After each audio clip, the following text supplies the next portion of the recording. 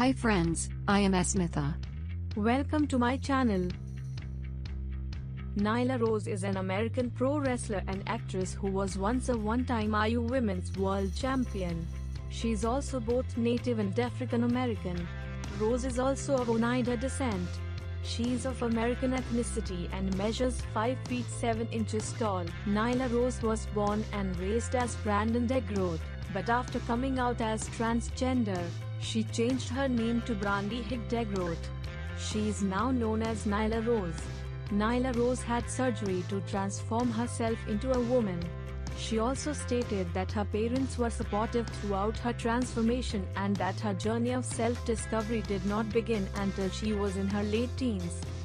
Rose wrestled in the American independent circuit from 2013 to 2019, appearing with brands like Women Superstars Uncensored.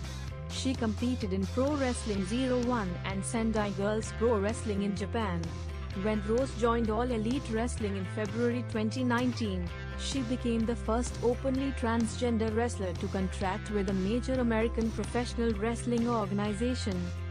Rose defeated Riho to win the AEW Women's Global Championship on Dynamite on February 12, 2020 becoming the first transgender woman to win a world championship in a major US wrestling organization. On the December 22nd edition of All Elite Wrestling's flagship show Dynamite on TNT, fans were treated to a hard-hitting match between Ruby Soho and Nyla Rose as part of the company's ongoing tournament to debut a new championship belt. Rose was announced to compete in the AEW Women's World Championship Eliminator Tournament in February 2021. Rose defeated Tay Conti in the first round of the US side of the bracket. Then, she defeated Britt Baker on the February 24th edition of Dynamite to proceed to the tournament's US finals. Rose played Ruby Soho in the semi-finals of the tournament, which Rose lost. But when Rose made her way to the ring, she was greeted not merely with the customary cheers and jeers of pro wrestling, but with one attendee's spiteful, misgendering sign. Nyla Rose is this guy's dad, the sign read, with an arrow pointing stage right. But the majority of the wrestling community online was quick to show their support for Rose. Wrestling is for everyone. No exceptions, wrote wrestler and YouTuber Simon Miller on Twitter. My transitional journey might be completely different from somebody else who grew up in the same conditions as I did, or grew up in totally different conditions. Rose says, the transition is completely different for every single person.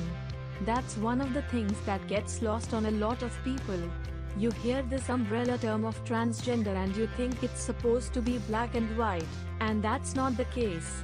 For me, I'm a binary trans woman.